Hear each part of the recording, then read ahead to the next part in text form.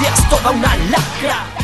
Realmente el tema de que nuestros discos sean benéficos creemos que bueno la, la seña de identidad más, más propia de Ulibre. Eh, simplificando, nosotros grabamos un disco, mm, pagamos eh, un estudio, pagamos unas copias con nuestros recursos y damos esas copias directamente a las organizaciones sin cobrarles absolutamente nada, o sea, donadas íntegramente y las organizaciones son las que se encargan de mm, pues de, de vender y de recoger eh, esos beneficios para, para ayudarles a seguir con su con su activismo.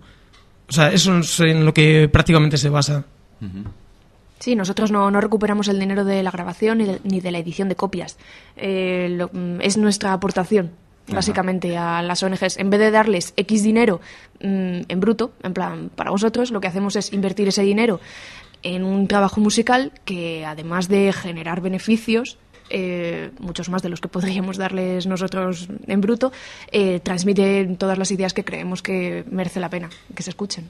Sí, también de alguna manera eh, lo que hacemos es que hablamos con, con las organizaciones a las que les cedemos los CDs y, les ponemos un precio. O sea, no, no queremos que, que nadie se quede por falta de recursos económicos sin el disco y sin la posibilidad, al fin y al cabo, de ayudar también a estas organizaciones.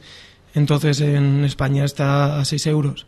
O sea que me parece que un disco grabado en un estudio profesional y bueno y haciéndonos acompañar de gente muy buena que le ha dado bastante calidad nos parece que está muy muy asequible. Además eh, estamos viendo que que es proporcional. La inversión de, esfuerzo y de sacrificio y de entusiasmo es proporcional a los resultados que hemos conseguido. No solo porque nos hemos movido para para eso, para que tuviera un buen sonido, para que tuvieran y para que hubiera unos, unos colaboradores de primera mano, sino que, que, bueno, que luego ha dado un resultado en cuanto que hay gente propia y ajena que le gusta el disco, o sea, no tienen por qué ser consumidores de rap, no tienen que ser ni siquiera jóvenes. Eh, el público que está comprando ahora mismo el disco de Ulibre es de lo más variopinto. Te puedes encontrar hasta personas de 50 años que te dicen, ¡buah! Este tema me ha encantado. El tema de que hayamos conseguido, entre conciertos y, y discos, superar más de 10.000 euros eh, en- para, para movimientos sociales, para nosotros es, pues, es increíble, es un objetivo más que, más que cumplido. La verdad es que la gente que nos sigue es porque realmente le gusta nuestro mensaje y le gustan las ideas y las comparten, más que porque sean afamados, vamos, asiduos al hip hop.